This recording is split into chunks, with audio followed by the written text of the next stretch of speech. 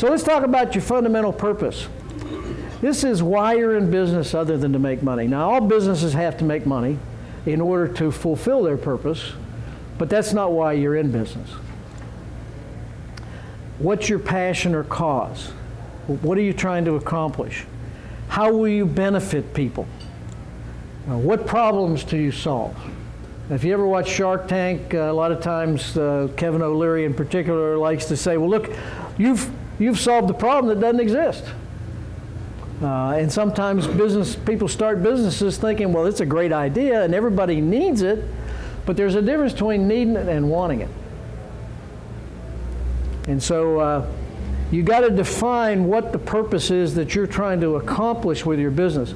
Johnson & Johnson was established back in 1850 something or other with a very simple purpose. We are in business to alleviate human pain and suffering.